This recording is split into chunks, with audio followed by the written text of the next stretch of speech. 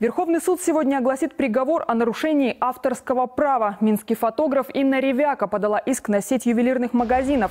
В 2015 году девушка сделала фотосессию, посвященную Дню Победы, ветеранам и молодому поколению. А спустя три года торговая сеть нашла одно из изображений в интернете, отредактировала его и вновь разместила в интернете и на рекламных буклетах, сделав масштабную пиар-компанию.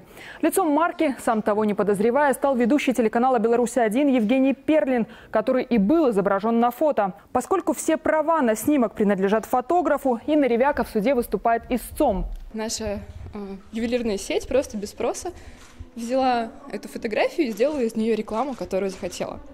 Ну, естественно, меня это возмутило, и мы пробовали разговаривать, чтобы не доводить дело до суда. Но, к сожалению, у нас не получился диалог. Нам необходимо доказать, во-первых, то, что фотограф является автором этого произведения. Царское золото по каким-то причинам категорически не хочет этот факт признавать. Но у нас есть и оригиналы изначальных фотографий, и факт первого публикования, и свидетели, которые готовы подтвердить, что Инна осуществляла э, фотографирование.